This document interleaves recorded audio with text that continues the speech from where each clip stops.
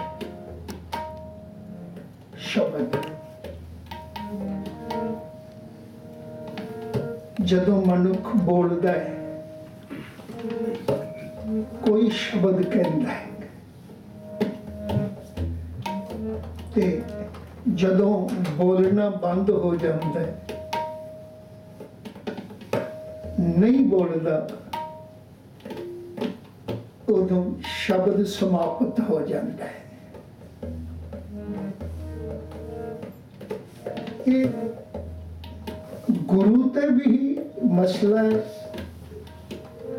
ਸਿੱਖ ਤੇ ਵੀ ਮਸਲਾ ਇਹ ਹੋਈ ਹੈ। ਸ੍ਰੀ ਗੁਰੂ ਗ੍ਰੰਥ ਸਾਹਿਬ ਦੀ ਬਾਣੀ ਵਿੱਚ ਜਿੱਥੇ ਠਾਕਰ ਪ੍ਰਤੀ ਇਹ ਉਲੰਭ ਹੈ ਕਿ ਨਾ ਪਾਥਰ ਬੋਲੇ, ਠਾਕਰ ਹਮਾਰਾ ਸਾਧ ਬੋਲੰਤਾ ਤੇਰਾ ਠਾਕਰ, ਤੇਰਾ ਪਰਮੇਸ਼ਰ ਤਾਂ ਬੋਲਦਾ ਹੀ ਨਹੀਂ। ਇਹਦਾ ਮਤਲਬ ਉਹਦੇ ਕੋਲ ਸ਼ਬਦ ਕੋਈ ਨਹੀਂ। ਉੱਥੇ ਸ਼ਬਦ ਨਹੀਂ ਮਿਲ ਸਕਦਾ। ਜਿਹੜਾ ਠਾਕਰ ਬੋਲਦਾ ਹੀ ਨਹੀਂ, ਉੱਥੋਂ ਸ਼ਬਦ ਕਿੱਥੇ ਪ੍ਰਾਪਤ ਹੋਣਾ ਹੈ? ਕਹਿਣ ਲੱਗੇ, ਨਾ ਪਾਥਰ ਬੋਲੇ ਪਾਸੇ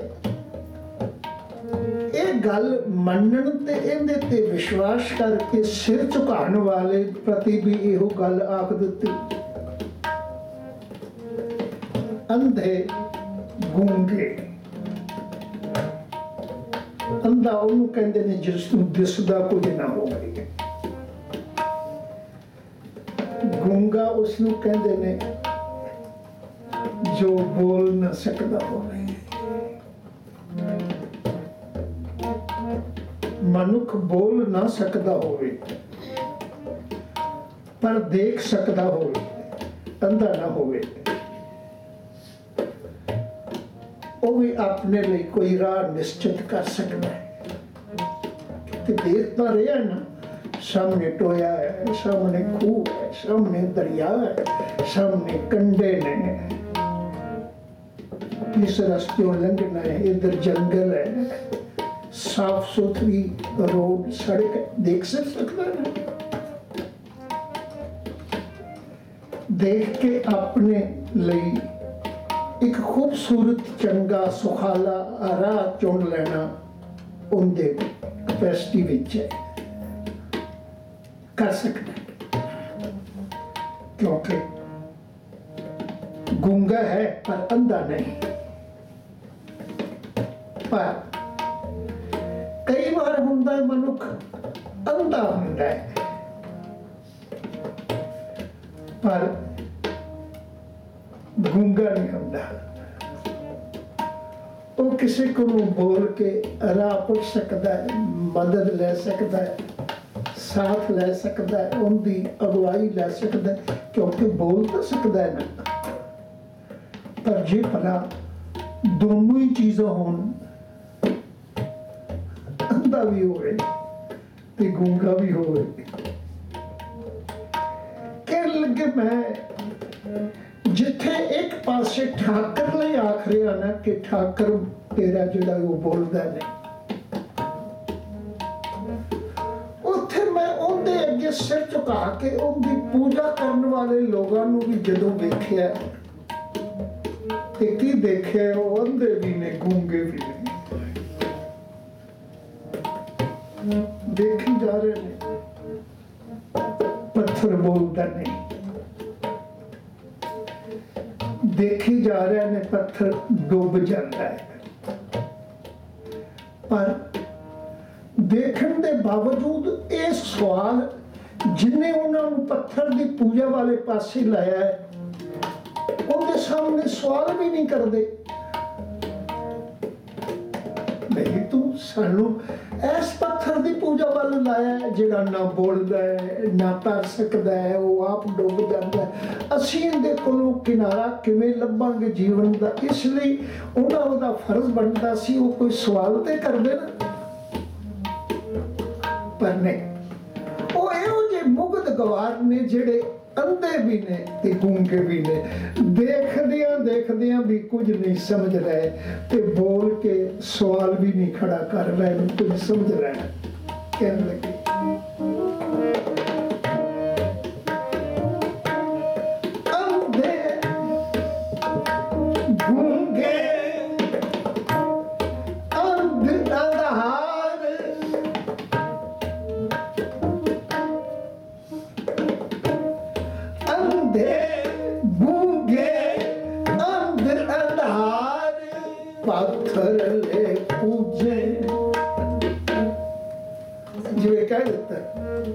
ਪੂਜਾ ਕਰੀ ਕਿਉਂਕਿ ਜਿਹਨੇ ਪੱਥਰ ਦੀ ਪੂਜਾ ਵੱਲ ਲਾਇਆ ਹੈ, ਉਹ ਉਹਨਾਂ ਦਾ ਗੁਰੂ ਬਣ ਬੈਠਾ ਹੈ। ਬਾਬਾ ਕਬੀਰ ਜੀ ਦੇ ਅੱਜ ਦੇ ਦੋ ਸ਼ਲੋਕ ਜਿਹੜੇ ਨੇ ਬੜਾ ਵੱਡਾ ਭੇਦ ਖੋਲ ਰਹੇ ਨੇ। ਇੱਕ ਲਫ਼ਜ਼ ਮੈਂ ਫਿਰ ਦੁਹਰਾ ਦਿਆਂ। ਮੇਰਾ ਮਕਸਦ ਕਿਸੇ ਦੇ ਵਿਸ਼ਵਾਸ ਤੇ ਅਟੈਕ ਕਰਨਾ ਨਹੀਂ। ਕਿਸੇ ਦਾ ਵਿਸ਼ਵਾਸ। ਪਰ ਜੋ ਕੁਝ ਸ੍ਰੀ ਗੁਰੂ ਗ੍ਰੰਥ ਸਾਹਿਬ ਦੀ ਬਾਣੀ ਵਿੱਚ ਬਾਬਾ ਕਬੀਰ ਜੀ ਨੇ ਆਖ ਦਿੱਤਾ ਹੈ, ਬੜੀ ਵਿਸ਼ਾਲਤਾ, ਬੜੇ ਦਿਲ ਜਿਗਰੇ ਨਾਲ ਉਹਨਾਂ ਨੇ ਇਸ ਸਬਜੈਕਟ ਨੂੰ ਛੋਇਆ ਹੈ। ਤੇ ਇੱਕ ਹੋਰ ਖਿਆਲ ਕਰਿਓ, ਦਿਲ ਜਿਗਰਾ ਹਮੇਸ਼ਾ ਔਕੜਾਂ ਵਿੱਚੋਂ ਪੈਦਾ ਹੁੰਦਾ ਹੈ। ਜਿਉਂ ਜਿਉਂ ਮਨੁੱਖ ਔਕੜਾਂ ਚੱਕਦਾ ਹੈ ਕਿਉਂ ਕਿਉਂ ਦਿਲ ਦਾ ਮਜ਼ਬੂਤ ਹੁੰਦਾ ਹੈ। ਬਲਕਿ ਮੈਂ ਇੱਕ ਵਾਰ ਕੀਤੀ ਸੀ, ਹਰ ਠੇਡਾ ਮਨੁੱਖ ਦੇ ਆਉਣ ਵਾਲੇ, ਦੂਜੇ ਕਦਮ ਨੂੰ ਟਿਕਣ ਵਾਲੇ, ਦੂਜੇ ਕਦਮ ਨੂੰ ਪਹਿਲੇ ਨਾਲੋਂ ਮਜ਼ਬੂਤ ਕਰਦਾ ਹੈ। ਕਿਉਂਕਿ ਠੇਡੇ ਨੇ ਉਹਨੂੰ ਅਹਿਸਾਸ ਕਰਾ ਦਿੱਤਾ ਹੈ, ਅਗਲਾ ਕਦਮ ਬੜੇ ਧਿਆਨ ਨਾਲ ਮਜ਼ਬੂਤ ਹੋ ਕੇ ਰੱਖੇ। ਇੱਥੇ ਕੋਈ ਖਤਰਾ ਹੈ ਖਤਰੇ ਤੋਂ ਬਚਣ ਲਈ ਫਿਰ ਉਸੇ ਲਫ਼ਜ਼ ਨੂੰ ਦੁਹਰਾ ਦਿਆਂ ਖਤਰੇ ਤੋਂ ਬਚਣ ਲਈ ਅੱਖਾਂ ਚਾਹੀਦੀਆਂ ਨੇ, ਜ਼ਬਾਨ ਤੋਂ ਬੋਲਣ ਦੀ ਸ਼ਕਤੀ ਚਾਹੀਦੀ ਹੈ। ਨਾ ਅੰਧਾ ਹੋਵੇ, ਨਾ ਗੂੰਗਾ ਹੋਵੇ। ਕਿਸੇ ਕੋਲੋਂ ਮਦਦ ਵੀ ਲੈ ਸਕਦਾ ਹੋਵੇ, ਆਪ ਵੇਖ ਕੇ ਫੈਸਲਾ ਵੀ ਕਰ ਸਕਦਾ ਹੋਵੇ। ਬਾਬਾ ਕਬੀਰ ਜੀ ਦਾ ਦਿਲ ਜਿਗਰ ਇੰਨਾ ਵੱਡਾ ਹਾਲਾਂਕਿ ਉਦੋਂ ਬ੍ਰਾਹਮਣ ਦਾ ਰਾਜ ਸੀ। ਗੁਰੂ ਨਾਨਕ ਤੋਂ ਵੀ ਪਹਿਲਾਂ ਦੀ ਗੱਲ ਹੈ, ਬਾਬਾ ਕਬੀਰ ਪਹਿਲੇ ਹੋਏ ਨੇ। ਬ੍ਰਾਹਮਣ ਦਾ ਰਾਜ ਸੀ। ਤੇ ਇੱਕ, ਦੋ, ਚਾਰ, ਤਿੰਨ ਹੀ ਸਾਰੇ ਸੰਸਾਰ ਤੇ ਰਾਜ ਸੀ ਹੁੰਦਾ ਬਾਬਾ ਕਬੀਰ ਜੀ ਨੇ ਆਪਣੇ ਕਹਿੰਦਾ, ਕਬੀਰ ਬਾਮਨ ਗੁਰੂ ਹੈ, ਜਗਤ ਕਾ। ਸਾਰੇ ਸੰਸਾਰ ਦਾ ਗੁਰੂ ਬਣ ਬੈਠਾ ਗੱਲ ਵੱਖਰੀ ਹੈ ਕਿ ਉਸ ਦੀ ਗੁਰਿਆਈ ਨੂੰ ਚੈਲੰਜ ਕਰਨ ਵਾਲਾ ਇੱਕ ਜੁਲਾਹਾ ਆਪਣੇ ਆਪ ਨੂੰ, ਜਿਹਨੂੰ ਲੋਕ ਜੁਲਾਹਾ ਕਹਿੰਦੇ ਸਨ। ਉਹ ਕਹਿੰਦਾ, ਭਗਤਨ ਕਾ ਗੁਰਨਾ ਹੈ ਬਾਮਨ ਗੁਰੂ ਹੈ ਜਗਤ ਕਾ। ਭਗਤਨ ਕਾ ਗੁਰਨਾ ਹੈ। ਸੰਸਾਰ ਦੇ ਲੋਕ ਨੂੰ ਗੁਰੂ ਗੁਰੂ ਆਖੀ ਜਾਣ। ਉਹ ਓਨੀ ਦੇਰ ਹੀ ਆਖ ਰਹੇ ਨੇ, ਕਿਉਂਕਿ ਉਹਦੇ ਗੂੰਗੇ ਨੂੰ ਉਹਨਾਂ ਨੂੰ ਪਤਾ ਹੀ ਨਹੀਂ ਹੈ ਕੀ ਹੈ, ਕੀ ਹੋ ਰਿਹਾ ਸਾਡੇ ਨਾਲ। ਇਸ ਲਈ ਪਰ ਬਾਬਾ ਕਬੀਰ ਕਹਿੰਦੇ ਨੇ, ਮੈਂ ਨਹੀਂ ਆਖ ਸਕਦਾ। ਮੈਂ ਤੇ ਸਵਾਲ ਕਰਾਂਗਾ। ਅੱਜ ਜਿੰਦੇ ਅਸੀਂ ਤੁਸੀਂ ਸਿੱਖਾਂ ਨੇ, ਉਹਨਾਂ ਨੇ ਸਵਾਲ ਹੀ ਕੀਤਾ ਸੀ। ਜੇ ਜਨੇਊ ਪਾਣ ਦੇ ਵਕਤ ਆਖਿਆ ਬਈ ਮੈਂ, ਤੂੰ ਆਖਣਾ ਹਿੰਦੂ ਲਈ ਜਨੇਊ ਪਾਣਾ ਜ਼ਰੂਰੀ ਹੈ। ਤੇ ਮੈਂ ਹਿੰਦੂ ਪਰਿਵਾਰ ਵਿੱਚ ਜਨਮ ਲਿਆ ਇਸ ਲਈ ਮੇਰੇ, ਮੈਨੂੰ ਵੀ ਜਨੇਊ ਪਾਣਾ ਜ਼ਰੂਰੀ ਪਾਵਾਂਗਾ, ਪਰ ਤੂੰ ਮੇਰੀਆਂ ਗੱਲਾਂ ਦਾ ਜਵਾਬ ਦੇ ਦੇ। ਮੇਰੇ ਕੁਝ ਸਵਾਲ ਨੇ। ਔਰ ਸਵਾਲ ਉਹ ਹੀ ਕਰੇਗਾ ਜਿਹੜਾ ਗੂੰਗਾ ਨਹੀਂ ਹੋਏਗਾ। ਸਵਾਲ ਉਹ ਹੀ ਕਰੇਗਾ ਜਿਹੜਾ ਅੰਧਾ ਨਹੀਂ ਹੋਏਗਾ। ਅੰਧਾ ਗੂੰਗਾ ਤਾਂ ਸਵਾਲ ਵੀ ਨਹੀਂ ਕਰ ਸਕਦਾ। ਗੁਰੂ ਨਾਨਕ ਨੇ ਵੀ ਸਵਾਲ ਹੀ ਕੀਤੇ ਸਨ। ਆਪਾਂ ਜਿਹੜੇ ਸਵਾਲਾਂ ਦਾ ਜ਼ਿਕਰ ਅਕਸਰ ਆਸਾ ਦੀ ਵਾਰ ਅੰਦਰ ਕਰਨੇ ਗੁਰੂ ਨਾਨਕ ਦੇ ਸਵਾਲ ਨੇ। ਤੇ ਬਾਬਾ ਕਬੀਰ ਜੀ ਨੇ ਵੀ ਸਵਾਲ ਹੀ ਕੀਤੇ। ਦੇਖਣਾ ਇਹ ਹੈ ਕਿ ਜਿਨ੍ਹਾਂ ਦਾ ਦਿਲ ਜਗਰਾ ਠੇਡੇ ਖਾ ਕੇ ਬਣ ਜਾਂਦਾ ਹੈ ਨਾ, ਬਾਬਾ ਕਬੀਰ ਜੀ ਨੇ ਘੱਟ ਠੇਡੇ ਨਹੀਂ ਖਾਦੇ ਹੋਏ। ਜਿਨ੍ਹਾਂ ਨੂੰ ਕੋਈ ਆਪਣੇ ਬਰਾਬਰ ਬਹਿਣ ਨਹੀਂ ਸੀ ਦਿੰਦਾ, ਕਿ ਜਿਨ੍ਹਾਂ ਨੂੰ ਮੰਦਰਾਂ ਵਿੱਚ ਕੋਈ ਪੂਜਾ ਨਹੀਂ ਸੀ ਕਰਨ ਦਿੰਦਾ। ਮਨੁੱਖਾਂ ਦੀ ਗਿਣਤੀ ਵਿੱਚ ਨਹੀਂ ਸੀ ਮੰਨਿਆ ਜਾਂਦਾ। ਕਹਿਣ ਲੱਗੇ, ਮੈਂ ਵੀ ਜੁਰਤ ਕਰਕੇ ਤੇਰੇ ਨਾਲ ਕੋਈ ਦੋ ਗੱਲਾਂ ਕਰਨਾ ਚਾਹਨਾ। ਕੁਝ ਸਵਾਲ ਨੇ। ਤੇ ਉਹ ਸਵਾਲ ਕੀ ਨੇ?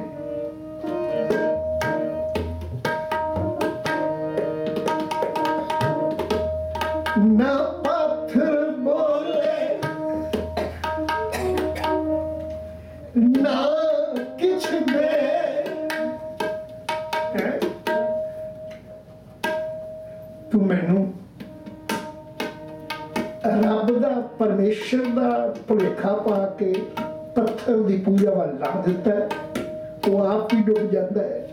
ਮੈਨੂੰ ਕਿੱਥੋਂ ਤਾਰੇਗਾ? ਪਰ ਸਵਾਲ ਮੈਂ ਇਸ ਕਰ ਲਿਆ ਸਾਂ ਮੈਨੂੰ ਵੀ ਕਦੇ ਕੋਈ ਇਹ ਨਾ ਆਖੇ ਮੈਂ ਕਿਸੇ ਦੇ ਵਿਸ਼ਵਾਸ ਨੂੰ ਸੱਟ ਮਾਰਨਾ ਚਾਹਨਾ ਬਿਲਕੁਲ ਨਹੀਂ। ਬਾਬਾ ਕਬੀਰ ਜੀ ਦੇ ਸਵਾਲ ਤੁਹਾਡੇ ਨਾਲ ਸਾਂਝਾ ਕਰਨਾ ਚਾਹਨਾ ਇਹ ਸਥਾਨ ਆਪਾਂ ਗੁਰਬਾਣੀ ਸਮਝਣ ਦੀ ਬਣਾਇਆ ਗੁਰਬਾਣੀ ਵਿੱਚ ਜਿਹੜੇ ਸਵਾਲ ਨੇ, ਉਹ ਸਾਡੇ ਹਿੱਤ ਵਿੱਚ ਨੇ। ਸਾਡੀ ਫੇਵਰ ਵਿੱਚ ਨੇ। ਸਾਨੂੰ ਪਤਾ ਹੋਵੇ, ਸਵਾਲ ਬਾਬਾ ਕਬੀਰ ਨੇ ਕੀ ਕੀਤੇ ਜੇ ਗੁਰੂ ਨਾਨਕ ਨੇ ਕੀਤੇ ਨੇ, ਬਾਬਾ ਕਬੀਰ ਨੇ ਕੀਤੇ ਨੇ, ਜ਼ਰੂਰ ਉਹਦਾ ਕੋਈ ਮਕਸਦ ਹੋਵੇਗਾ। ਬਾਬਾ ਕਬੀਰ ਕਹਿੰਦੇ ਨੇ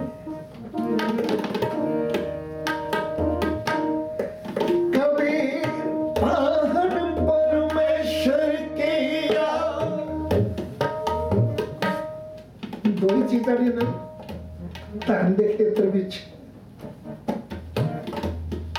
ਪਰਮੇਸ਼ਵਰ ਤੇ ਗੁਰੂ। ਦੋ ਟਿਕਾਣੇ ਨੇ ਕਿਉਂ ਮਸਲਾ ਨੇ। ਰੱਬ ਭੇਜਦਾ ਹੈ ਜੀਵ ਨੂੰ ਤੇ ਗੁਰੂ ਦਾ ਐਡਰੈਸ ਦਿੰਦਾ ਹੈ। ਸਵਾਸਾਂ ਦੀ ਪੂੰਜੀ, ਕੀਮਤੀ ਪੂੰਜੀ ਦੇ ਕੇ ਭੇਜਦਾ ਹੈ। ਦੇਖੀ ਕਿਤੇ ਸਵਾਸ। ਗਲਤ ਥਾਵੇਂ ਨਾ ਜਿਸ ਥਾਵੇਂ ਨਾ ਵੇਚਦਾ ਫਿਰੀ ਉੱਥੇ ਗੁਰੂ ਕੋਲ ਚਲਾ ਜਾ, ਤੇਰੇ ਸਵਾਸਾਂ ਦੀ, ਤੇਰੀ ਜੀਵਨ ਦੇ ਇੱਕ ਇੱਕ ਪਲ ਦੀ ਵੈਲਿਊ ਬਣੇਗੀ ਕਹਿਣ ਲੱਗੀ। ਸ਼ਾਹ ਪਠਾਇਆ। ਰੱਬ ਪਰਮੇਸ਼ਵਰ ਵੀ ਸ਼ਾਹ ਤੇ ਉਹਦੀ ਬ੍ਰਾਂਚ ਗੁਰੂ ਵੀ ਸ਼ਾਹ ਹੈ ਗੁਰੂ ਸੰਸਾਰ ਵਿੱਚ ਹੈ। ਨਿਰੰਕਾਰ, ਨਿਰਗੁਣ ਰੂਪ ਵਿੱਚ ਸੰਸਾਰ ਅੰਦਰ ਨਿਕਲ ਰਿਹਾ ਹੈ। ਹਰ ਉਸ ਸ਼ਾਹ ਨੇ ਜੀਵ ਨੂੰ ਜੀਵਨ ਦੇ ਕੇ, ਸਵਾਸ ਦੇ ਕੇ ਧਰਤੀ ਤੇ ਭੇਜਿਆ ਤੇ ਐਡਰੈਸ ਦੇ ਦਿੱਤਾ ਜਾਂ ਗੁਰੂ ਕੋਲ ਚਲਾ ਜਾ ਤੇਰੇ ਜੀਵਨ ਦੀ ਵੈਲਿਊ ਬੜੇ ਵਿਰਥਾ ਨਾ ਚਲਾ ਜਾਏ ਸ਼ਾਹ ਪਠਾਇਆ ਸ਼ਾਹੇ ਪਾਸ ਸ਼ਾਹ ਸ਼ਾਹ ਕੋਲ ਭੇਜ ਦਿੱਤਾ। ਕਿਉਂ? ਕਿਉਂਕਿ ਜਿਹੜੀ ਚੀਜ਼ ਦੇ ਕੇ ਭੇਜਿਆ ਸੀ ਨਾ, ਉਹ ਬੜੀ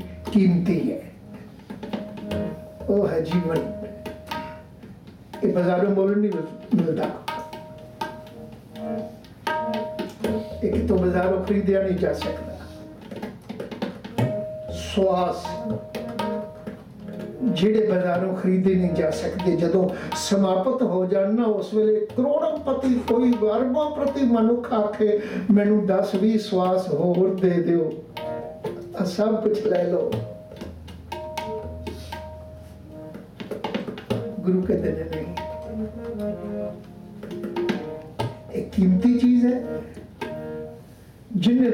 ਭੇਜਿਆ ਨਾ ਉਹਨੂੰ ਇਹਦੀ ਵੈਲਿਊ ਦਾ ਪਤਾ ਹੈ। ਉਹਨੇ ਇਸ ਲਈ ਆਖਿਆ ਵੇਖੀ ਕਿਸੇ ਗਲਤ ਥਾਂ ਤੇ ਨਾ ਚਲਾ ਜਾਈ। ਮੈਂ ਜਿੱਥੇ ਭੇਜਣੇ ਉੱਥੇ ਜਾਈ। ਇਹ ਗੱਲ ਵੱਖਰੀ ਹੈ ਕਿ ਮਨੁੱਖ ਨੂੰ ਭੁਲੇਖਾ ਪਾਉਣ ਵਾਲੇ ਲੋਕ ਬ੍ਰਾਹਮਣ ਵਰਗੇ ਇਸ ਧਰਤੀ ਤੇ ਮੌਜੂਦ ਸਨ। ਉਹਨਾਂ ਆਖਿਆ ਉਹ ਗੁਰੂ ਨਹੀਂ ਇੱਧਰ ਆ ਜਾ ਅਸੀਂ ਵੀ ਗੁਰੂ ਹਾਂ। ਅੱਜ ਵੀ ਹੈ। ਅੱਜ ਵੀ ਉਹ ਬਨਾਵਟੀ ਗੁਰੂ ਮਹਿੰਗੇ ਵਿਕਦੇ ਨੇ। ਮੈਂ ਹੈਰਾਨ ਹੋਇਆ ਜਦੋਂ ਮੈਂ ਪੜ੍ਹੀ ਲਿਸਟ ਕਿ ਸ੍ਰੀ ਗੁਰੂ ਗ੍ਰੰਥ ਸਾਹਿਬ ਦਾ ਅਖੰਡ ਪਾਠ ਕਰਾਉਣਾ ਹੋਵੇ, ਤੇ ਥੋੜੀ ਭੇਟਾ ਹੈ, ਜੇ ਬਚਿੱਤਰ ਨਾਟਕ ਦਾ ਅਖੰਡ ਪਾਠ ਕਰਾਉਣਾ ਹੋਵੇ ਤੇ ਜ਼ਿਆਦਾ ਭੇਟਾ ਹੈ। ਕਿਉਂ? ਕਿਉਂਕਿ ਉਹ ਨਹੀਂ। ਅੱਜ ਵੀ ਲਿਸਟ ਦੇਖ ਸਕਦੇ ਹੋ, ਹਜੂਰ ਸਾਹਿਬ ਦੇ। ਜਿਹਨੂੰ ਆਪਾਂ ਤਖਤ ਕਹਿੰਦੇ ਹਾਂ। ਹਾਲਾਂਕਿ ਤਖਤ ਇਹ ਗੁਰੂ ਨੇ ਬਿਲਕੁਲ ਕੋਈ ਵੀ ਨਹੀਂ ਬਣਾਇਆ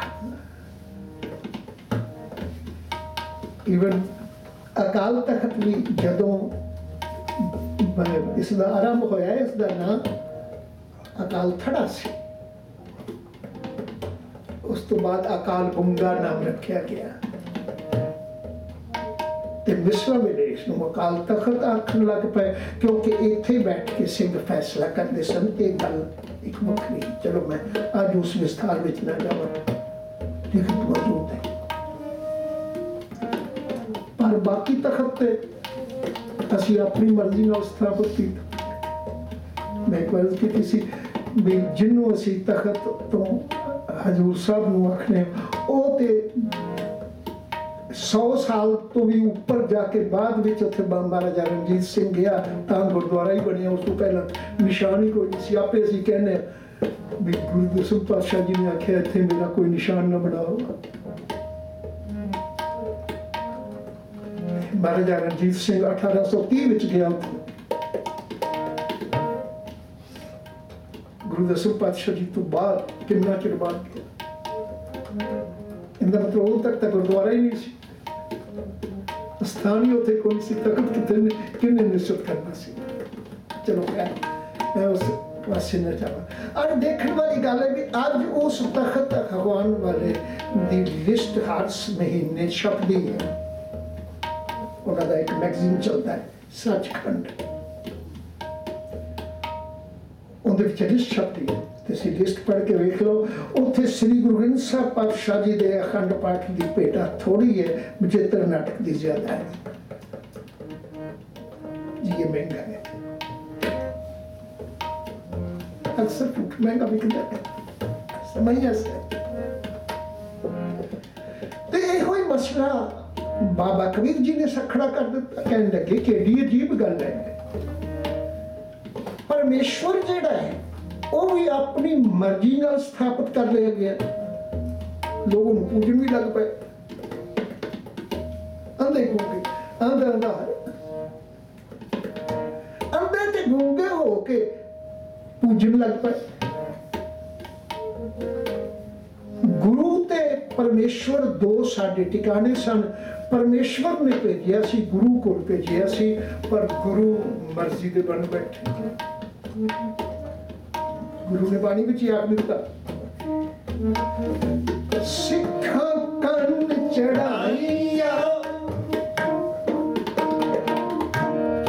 ਸਿੱਖਾਂ ਕੰਨ ਚੜਾਈਆ ਗੁਰ ਬਾਮਣ ਥੀਆ ਕੰਨ ਵਿੱਚ ਸਿੱਖਿਆ ਦਿੱਤੀ। ਆ ਤੇਰਾ ਗੁਰੂ ਬੰਦਾ ਹੈ।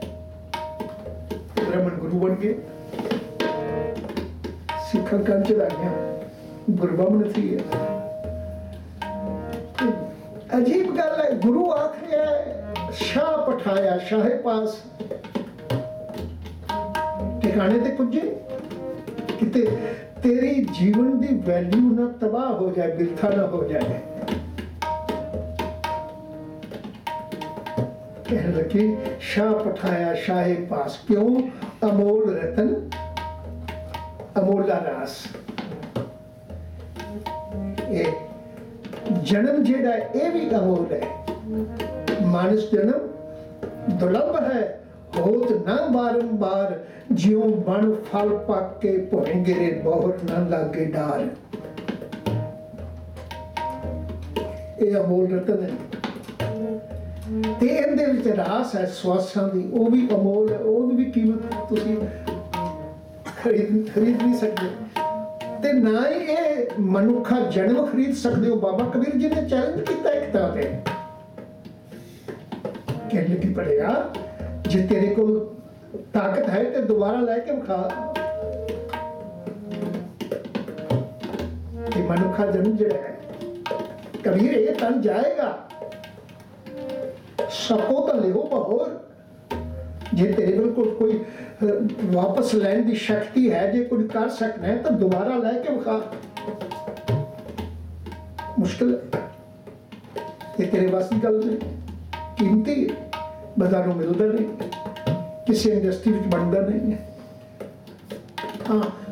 ਇੱਥੇ ਜੇ ਡਾਕਟਰ ਵੀ ਪੈਦਾ ਹੋਏ ਨੇ, ਉਹ ਸਰੀਰ ਦੀ ਖੋਜ ਕਰਕੇ ਇਹਦੀ ਮਾਮੂਲੀ ਕੁਝ ਸਮੇਂ ਦੀ ਰਿਪੇਅਰ ਵਾਸਤੇ ਪੈਦਾ ਹੋਏ ਨੇ।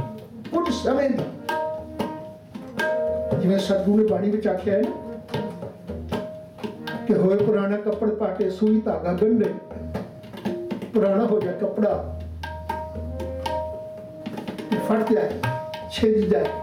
ਸੂਈ ਧਾਗੇ ਨਾਲ ਉਹਨੂੰ ਗੰਢ ਲਈਦਾ ਟਾਕੀ ਲਾ ਲਈਦੀ ਪਰ ਅਗਲੀ ਲਾਈਨ ਅੰਦਰ ਕਹਿਣ ਲੱਗੇ, ਮਾਂ, ਪੱਖ ਕੇ ਚੱਲੇ ਨਾ ਹੀ ਘੜੀ ਮੋਤ ਪਿਛੜਦੇ ਨੇ। ਉਹ ਪੁਰਾਣਾ ਕੱਪੜਾ ਗੰਢ ਵੀ ਲਈਏ ਤੇ ਕੋ ਮਹੀਨੇ 15 ਦਿਨ ਨਹੀਂ ਚੱਲਦਾ, ਘੜੀ ਮੋਤ ਤੁਸੀਂ ਪਾ ਸਕਦੇ ਮੁੜ ਕੇ, ਫਿਰ ਫਟ ਜਾਂਦਾ, ਪੁਰਾਣਾ ਤਾਂ ਪੁਰਾਣਾ ਹੀ ਹੈ। ਕਹਿਣ ਲੱਗੇ, ਇਹੀ ਹਾਲਤ ਇਸ ਤਨ ਦੀ ਇਹੀ ਹਾਲਤ ਸਰੀਰ ਦੀ ਜੇ ਤੂੰ ਆਖੇ ਨਾ, ਕਿਸੇ ਡਾਕਟਰ ਕੋਲੋਂ ਮੈਂ ਹਮੇਸ਼ਾ ਦਾ ਜੀਵਨ ਆਪਣਾ ਮਜ਼ਬੂਤ ਕਰ ਲਵਾਂਗਾ ਕਿ ਮੈਂ ਮਰਾਂ ਹੀ ਨਾ ਤਾਂ ਇਹ ਜਾਂ ਕੋਈ ਡਾਕਟਰ ਨਹੀਂ ਜਿਹੜਾ ਤੇਰਾ, ਤੇਰੀ ਇਹ ਗਾਰੰਟੀ ਲਵੇ ਕਿ ਤੇਰੇ ਤੇ ਕਦੀ ਮੌਤ ਸਰੀਰ ਜਾਏਗਾ ਹੀ ਨਹੀਂ। ਰਿਪੇਅਰ ਕਰ ਸਕਦਾ ਹੈ, ਕੁਝ ਦਿਨ ਵਧਾ ਸਕਦਾ ਕੁਝ ਪਲ ਵਧਾ ਸਕਦਾ। ਇਸ ਤੋਂ ਜ਼ਿਆਦਾ ਨਹੀਂ। ਉਹ ਵੀ ਤਨ ਦੇ ਪਾਲਕ ਸਵਾਸਾਂ ਦੇ ਪਲ ਨਹੀਂ ਵਧਾ ਸਕਦਾ। ਗੁਰੂ ਨੇ ਇਹੋ ਗੱਲ ਬਾਣੀ ਵਿੱਚ ਆਖੀ ਸ਼ਾਹ ਪਠਾਇਆ ਸ਼ਾਹੇ ਪਾਸ ਅਮੋਲ ਰਤਨ ਅਮੋਲਾ ਰਾਸ। ਹੁਣ ਸ਼ਾਹ ਨੇ ਸ਼ਾਹ ਕੋਲ ਭੇਜਿਆ ਹੈ, ਦੋਨੋਂ ਸ਼ਾਹ ਨੇ। ਇੱਕ ਗੁਰੂ ਸ਼ਾਹ ਹੈ, ਇੱਕ ਪਰਮੇਸ਼ਵਰ ਸ਼ਾਹ ਹੈ। ਪਰ ਇੱਥੇ ਦੁਖਾਂਤ ਵਾਪਰ ਗਿਆ। ਬਾਬਾ ਕਬੀਰ ਜੀ ਦਾ ਜ਼ਿਕਰ ਕੀਤਾ ਹੈ। ਕਹਿੰਦੇ ਦੁਖਾਂਤ ਕੀ ਵਾਪਰ ਗਿਆ? ਕਿ ਪਰਮੇਸ਼ਰ ਵੀ ਬਦਲ ਦਿੱਤਾ ਗਿਆ, ਗੁਰੂ ਵੀ ਬਦਲ ਦਿੱਤਾ ਗਿਆ। ਜੀਵਨ ਦੀ ਕੀ ਹਾਲਤ ਹੋ ਗਈ ਹੈ? ਤੁਸੀਂ ਆਪੇ ਹੀ ਅੰਦਾਜ਼ਾ ਲਗਾ ਲਓ। ਸ਼ਾਇਦ ਦੋਨੋਂ ਹੀ ਬਦਲ ਗਏ। ਪਰਮੇਸ਼ਰ ਵੀ ਬਦਲ ਗਿਆ, ਆਪਣੀ ਮਰਜ਼ੀ ਦਾ ਬਣਾ ਦਿੱਤਾ ਗਿਆ। ਤੇ ਗੁਰੂ ਵੀ ਬਦਲ ਗਿਆ, ਆਪਣੀ ਮਰਜ਼ੀ ਦਾ ਬਣਾ ਦਿੱਤਾ ਪਰਮੇਸ਼ਰ ਪੱਥਰ ਨੂੰ ਬਣਾ ਦਿੱਤਾ ਤੇ ਗੁਰੂ ਬ੍ਰਾਹਮਣ ਨੂੰ ਬਣਾ ਦਿੱਤਾ। ਲੋਕ ਦੋਨੋਂ ਹੀ ਬਦਲ ਗਏ ਫੈਸਲਾ ਬਾਣੀ ਨੇ, ਬਾਬਾ ਕਬੀਰ ਜੀ ਦਾ ਸ਼ਲੋਕ। ਕਹਿਣ ਲੱਗੇ, ਪਰਮੇਸ਼ਰ ਪੱਥਰ ਨੂੰ ਬਣਾ ਦਿੱਤਾ ਗਿਆ। ਕਬੀਰ ਪਾਹਣ ਪਰਮੇਸ਼ਰ ਕੀ ਆ? ਪਾਹਣ ਨੂੰ, ਪੱਥਰ ਨੂੰ ਪਰਮੇਸ਼ਰ ਬਣਾ ਦਿੱਤਾ। ਪਿਛਲੇ ਦਿਨ ਵਿੱਚ ਵੀ ਪਤਾ ਹੈ ਕਿ ਜਿੰਨੀ ਦੇਰ ਪੱਥਰ ਘਾੜਾ ਸੀਨੇ ਤੇ ਉੱਪਰ ਪੈਰ ਧਰ ਕੇ ਉਹਨੂੰ ਘੜ ਰਿਹਾ ਹੈ ਉਨੀ ਦੇਰ ਉਹ ਪੱਥਰ ਹੈ। ਤੇ ਜਿਸ ਵੇਲੇ ਘੜ ਕੇ ਉਹਦੀ ਮੂਰਤੀ ਬਣਾ ਕੇ ਕਿਸੇ ਮੰਦਿਰ ਵਿੱਚ ਟਿਕਾ ਦਿੱਤੀ, ਬਸ ਉਹ ਪੱਥਰ ਨਾ ਰਿਹਾ। ਬ੍ਰਹਮਣ, ਉਹ- ਉਹ- ਉਹ ਭਗਵਾਨ ਹੋ ਗਿਆ। ਇਹ ਪੱਥਰ ਨੂੰ ਪਰਮੇਸ਼ਰ ਬਣਾ ਦਿੱਤਾ। ਪਰ ਪੂਜੇ ਸਭ ਸੰਸਾਰ ਬਦਕਿਸਮਤੀ ਤਾਂ ਇਹ ਹੈ ਕਿ ਪੱਥਰ ਨੇ ਪੂਜੇ ਮੁਕਤ ਗਵਾਰ ਬਦਕਿਸਮਤੀ ਤਾਂ ਇਹ ਹੈ ਕਿ ਅੰਧੇ ਗੂੰਗੇ ਅੰਧਾਰ ਨਾ ਅੱਜ ਤੱਕ ਕਿਸੇ ਨੇ ਸਵਾਲ ਖੜਾ ਕੀਤਾ ਬ੍ਰਾਹਮਣ ਦੇ ਸਾਹਮਣੇ ਵੀ ਤੂੰ ਇਸ ਪੱਥਰ ਨੂੰ ਪਰਮੇਸ਼ਰ ਕਿਸ ਬਿਨਾ ਤੇ ਆਖਣਾ ਹੈ ਸਵਾਲ ਕਹਿੰਦੇ ਸਵਾਲ ਕਰਨ ਲਈ ਕਿਵੇਂ ਅੰਧੇ ਗੂੰਗੇ ਅੰਧਾਰ ਪਰ ਬਾਬਾ ਕਬੀਰ ਬੜੇ ਦਿਲ ਜਿਗਰੀ ਵਾਲੇ ਥੇ ਉਹ ਕਹਿੰਦੇ ਨੇ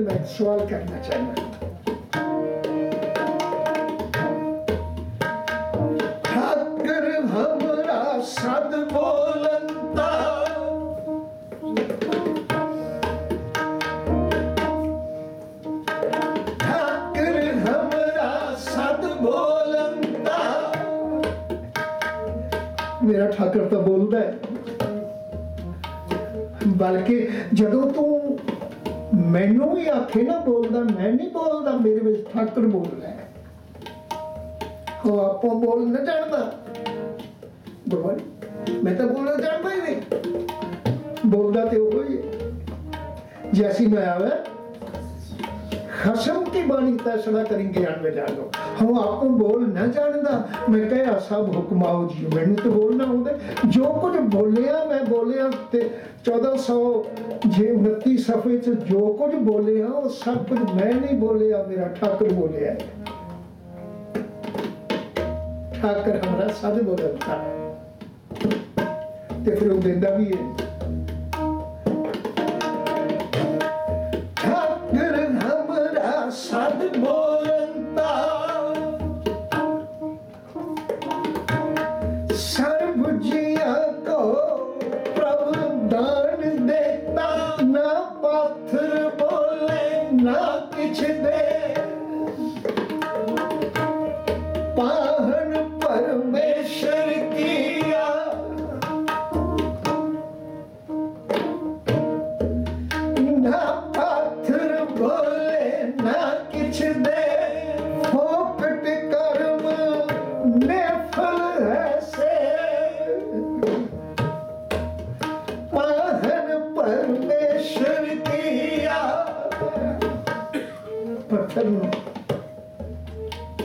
ਪਰਮੇਸ਼ਰ ਬਣਾ ਕੇ ਰੱਖ ਦਿੱਤਾ।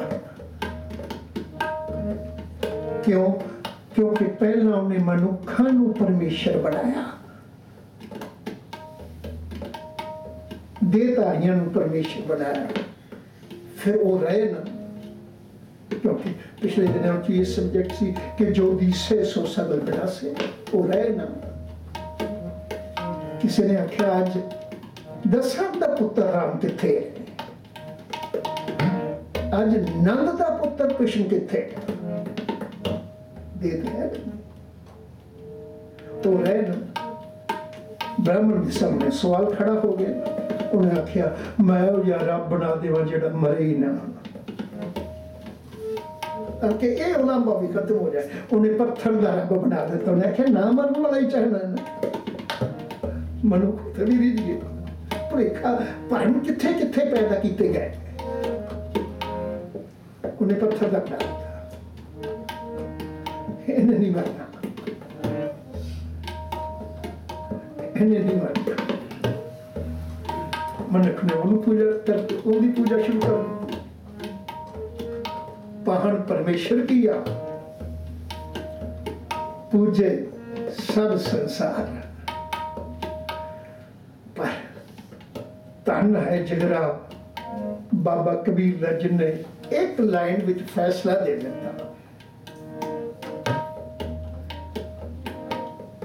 ਕਹਿਣ ਲੱਗੇ, ਇਸ ਭਰਵਾਸੇ ਜੋ ਰਹੇ, ਜਿਹੜਾ ਇਸ ਪੱਥਰ ਦੇ, ਪਰਮੇਸ਼ਵਰ ਦੇ ਸਹਾਰੇ ਆਪਣੇ ਜੀਵਨ ਨੂੰ ਜ਼ਰਖੇਜ਼ ਰੱਖਣਾ ਚਾਹਦਾ, ਚਾਹੇਗਾ, ਉਹ ਤਾਂ ਮਾਨੋ ਡੂੰਘੇ ਪਾਣੀ ਵਿੱਚ ਡੁੱਬ ਕੇ ਮਰ ਜਾਏਗਾ, ਉਹਦੇ ਜੀਵਨ ਦੀ ਕੋਈ ਆਸ ਨਾ ਰੱਖ। ਫੈਸਲਾ ਮੇਰਾ ਨਹੀਂ। ਪਹਿਲੇ ਮੈਂ ਕਿਸੇ ਦੇ ਵਿਸ਼ਵਾਸ ਨੂੰ ਸੱਟ ਨਹੀਂ ਮਾਰ ਪਰ ਜਿਹੜੀ ਚੀਜ਼ ਸ੍ਰੀ ਗੁਰੂ ਗ੍ਰੰਥ ਸਾਹਿਬ ਵਿੱਚ ਇੱਕ ਸਵਾਲ ਵਾਂਗੂ ਖੜੀ ਹੈ, ਕਿਉਂਕਿ ਸਵਾਲ ਵਿੱਚੋਂ ਹੀ ਸਭ ਕੁਝ ਮਿਲਦਾ ਹੈ। ਜਵਾਬ ਵੀ ਤਾਂ ਸਵਾਲ ਵਿੱਚੋਂ ਹੀ ਜਨਮ ਲੈਂਦਾ ਹੈ। ਜਿਨੇ ਕਦੀ ਸਵਾਲ ਨਹੀਂ ਕੀਤਾ, ਉਹਨੂੰ ਕਦੀ ਜਵਾਬ ਵੀ ਨਹੀਂ ਮਿਲਿਆ। ਤੇ ਜਿਹਨੂੰ ਕਦੀ ਜਵਾਬ ਨਹੀਂ ਮਿਲਿਆ, ਉਹਨੂੰ ਕਦੀ ਗਿਆਨ ਨਹੀਂ ਹੋਇਆ। ਤੇ ਜਿਹਨੂੰ ਕਦੀ ਗਿਆਨ ਨਹੀਂ ਹੋਇਆ, ਉਹ ਕਦੀ ਧਰਮੀ ਨਹੀਂ ਹੋ ਸਕਦਾ। ਜਾਂ ਗਿਆਨ ਤੇ ਧਰਮ ਹੈ। ਇਸ ਲਈ ਸਵਾਲ ਬਹੁਤ ਜ਼ਰੂਰੀ ਹੈ। ਅੱਜ ਵੀ ਅਸੀਂ ਇੱਕ ਗੱਲ ਤੇ ਸਮਝਦੇ ਹਾਂ ਜਿਹੜੇ ਬੱਚੇ ਅੱਜ ਕੱਲ ਦੇ ਜ਼ਿਆਦਾ ਸਵਾਲ ਕਰਦੇ ਨੇ, ਕਈ ਵਾਰੀ ਮਾਂ ਪਿਓ ਵੀ ਆਉਂਦੇ ਨੇ, ਕਹਿੰਦੇ ਅੱਜ ਦੀ ਬੱਚੇ ਦੀ ਦਿਮਾਗ ਸ਼ਕਤੀ ਬੜੀ ਤੇਜ਼ ਹੈ ਹਰ ਗੱਲ 'ਚ ਸਵਾਲ ਸਵਾਲ ਕਿਉਂ ਕਿਉਂ, ਕਿਸ ਲਈ ਸਵਾਲ ਪੈਦਾ ਹੁੰਦਾ ਹੈ? ਉਹਨਾਂ ਹੀ ਉਹ ਹੁੰਦਾ ਸਵਾਲ ਵਿੱਚੋਂ ਦਿਨਾਈ ਮਿਲਣੀ, ਸਵਾਲ ਵਿੱਚੋਂ ਗਿਆਨ ਮਿਲਣਾ ਸਵਾਲ ਕੀਤਾ। ਕਹਿਣ ਲੱਗੇ, ਇਸ ਭਰ ਵਾਸੇ ਜੋ ਰਹੇ ਬੂਢੇ ਕਾਲੀ ਧਾਰ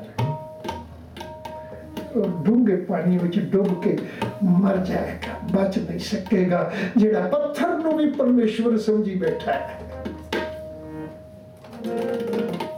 ਪਰਮੇਸ਼ਵਰ ਸਮਝੀ ਬੈਠਾ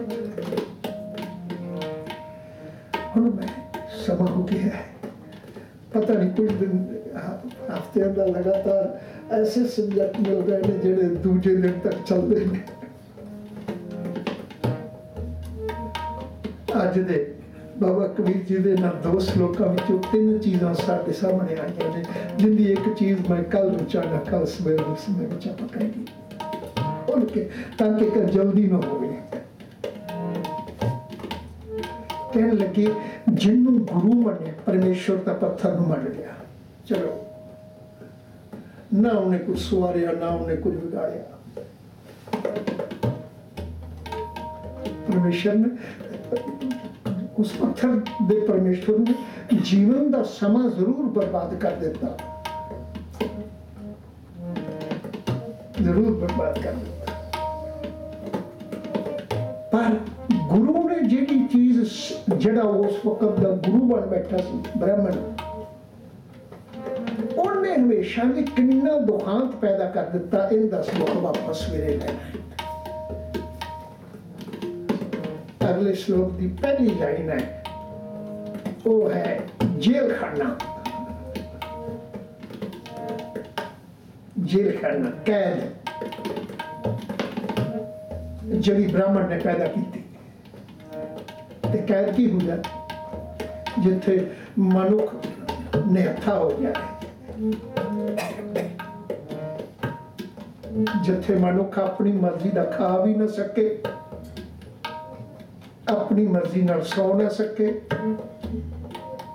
ਆਪਣੀ ਕੋਈ ਵੀ ਚੇਤਨਤਾ ਤੇ ਗਿਆਨ ਹਾਸਲ ਕਰਨਾ ਹੋਵੇ, ਮੈਨੂੰ ਜੇਲ੍ਹ ਦਾ ਹੈ। ਤੇ ਮਨੁੱਖ ਦੀ ਜ਼ਿੰਦਗੀ ਨੂੰ, ਜੀਵਨ ਨੂੰ ਬ੍ਰਾਹਮਣ ਗੁਰੂ ਨੇ ਜੇਲ੍ਹ ਵਿੱਚ ਪਾ ਦਿੱਤਾ। ਤੇ ਉਹ ਜੇਲ੍ਹ ਕੀ ਹੈ ਉਹ ਆਪਾਂ ਸਵੇਰੇ ਵਿਚਾਰਨੇ ਕਹਿਣ ਲੱਗੇ ਪਰਮੇਸ਼ਰ ਬਣਾ ਕੇ ਪੱਥਰ ਨੂੰ ਸਾਡੇ ਸਾਹਮਣੇ ਬਿਠਾ ਦਿੱਤਾ। ਜੀਵਨ ਬਰਬਾਦ ਹੋ ਗਿਆ। ਤੇ ਅਗਲੇ ਪਾਸੇ ਇੱਥੋਂ ਤੱਕ ਬਾਬਾ ਕਬੀਰ ਨੇ ਕਹਿ ਦਿੱਤਾ, ਕਹਿਣ ਲੱਗੇ, ਮੈਂ ਦੇਖਦਾ ਕੀ ਹਾਂ ਕਿ ਉਸ ਦੇ ਬਣਾਏ ਹੋਏ ਪਰਮੇਸ਼ਵਰ ਨੇ, ਬ੍ਰਾਹਮਣ ਦੇ ਬਣਾਏ ਹੋਏ ਪਰਮੇਸ਼ਵਰ ਨੇ ਤੇ ਬ੍ਰਾਹਮਣ ਰੂਪ ਗੁਰੂ ਨੇ ਨੁਕਸਾਨ ਕੀ ਕੀਤਾ? ਅਗਲੇ ਸ਼ਲੋਕ ਦੀ ਆਖਰੀ ਜਿਹੜੀ ਲਾਈਨ ਹੈ ਨਾ ਵਿਚਲੀ ਛੱਡ ਗਿਆ ਮੈਂ ਇਸ ਲਈ ਬੱਚੇ ਵਿਚਾਰ ਲਈ ਤਾਂ ਕਿ ਸਵੇਰ ਦਾ ਸਮਾਪਨ ਕੀਤਾ ਕਹਿਣ ਲੱਗੇ, ਪਾਹਨ ਬੋੜੀ ਪ੍ਰਥਮੀ ਜਿਹਨੂੰ ਪਰਮੇਸ਼ਰ ਨੇ ਰੱਖ ਕੇ ਬਿਠਾਤਾ ਸੀ।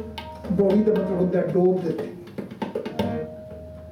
ਪ੍ਰਾਤਨ ਸਮੇਂ ਦੇ ਬਜ਼ੁਰਗਾਂ ਕੋਲ ਇਹ ਬੋਲੀ ਸੀ, ਕਿ ਐਵੇਂ ਬਾਜ਼ਾਰ ਗਿਆ, ਬੇੜੀ ਬੋੜ ਆਇਆ ਉੱਤਰ ਦੀ ਬੋਲੀ ਹੈ। ਬੋੜ ਕਦਾ ਮਤਲਬ ਹੁੰਦਾ ਸੀ? ਡੋਬ ਦੇਣਾ ਅਖੇ ਪਾਹਣ ਨੇ ਪਰਮੇਸ਼ਰ, ਜਿਹੜਾ ਪਾਹਣ ਪਰਮੇਸ਼ਰ ਬਣ ਕੇ ਬੈਠਾ ਸੀ, ਉਹਨੇ ਤਾਂ ਸਾਰੀ ਧਰਤੀ, ਸਾਰੀ ਪ੍ਰithvi ਡੋਬ ਦਿੱਤੀ।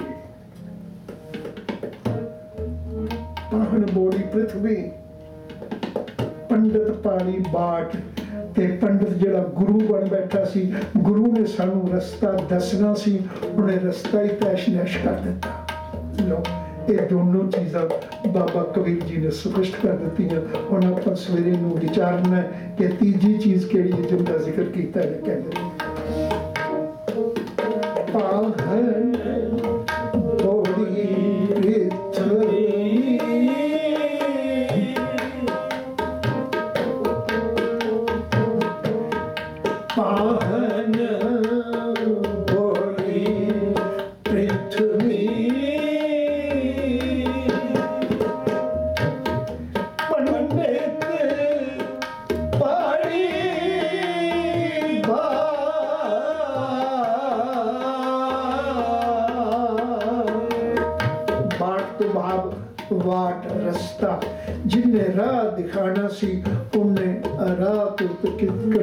ਕਰਕੇ ਤੈਸ਼ ਨੈਸ਼ ਕਰ ਦਿੱਤਾ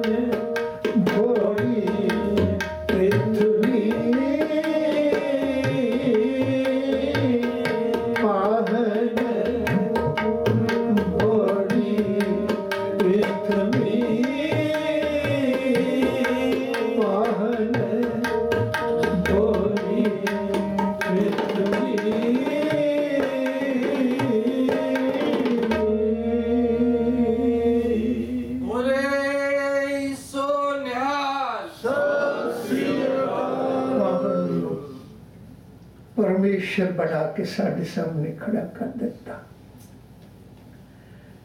ਅਸੀਂ ਅੰਧੇ ਤੇ ਗੁੰਗੇ ਹੋ ਗਏ, ਕੋਈ ਸਵਾਲ ਹੀ ਨਹੀਂ। ਜੇ ਕੌੜੀ ਸਚਾਈ ਅੱਜ ਦੇਖੀਏ ਤੇ ਸਾਡੀ ਵੀ ਹਾਲਤ ਇਹੋ ਨਹੀਂ।